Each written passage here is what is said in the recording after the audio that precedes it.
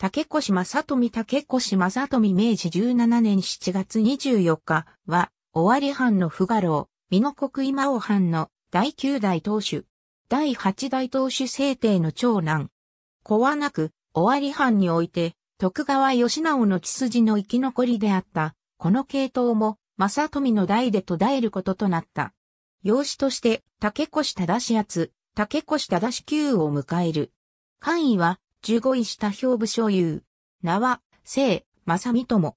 幼名は、鉄太郎、万丸。号は、法月。少年は、文政2年とも。天保3年11月、将軍の徳川家成に初お目見えし、12月27日に、15位下、息守に除任。後に、山城守、兵部所有に改める。天保8年11月21日、統制帝が隠居したため、後を継いだ。大有徳川家の後継者問題については、将軍家から養子を迎えるなど、成瀬忠重と、友幕府寄りな立場を取った。幕末期の反省の中では、不意ご島に近く、安政の大国で、尾張藩14代藩主、徳川義勝が隠居すると、正富は15代藩主、徳川持長の下で反省を取り仕切った。文久2年9月10日、幕府から隠居を命じられた。それに伴い、養子請求に家督を譲った。さらに、同年9月14日、幕府から領地に戻ること、そして、サビ替えを命じられた。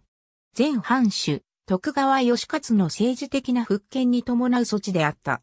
慶応4年4月、旧幕府支持の態度により、新政府から窒居を命じられた。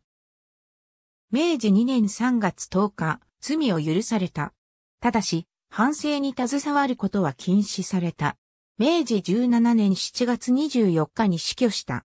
法号は、聖五位、竹越正美君人儀。墓所は、東京都港区虎ノ門の天徳寺。詩文、和歌、書道、茶道にも通じていた。ありがとうございます。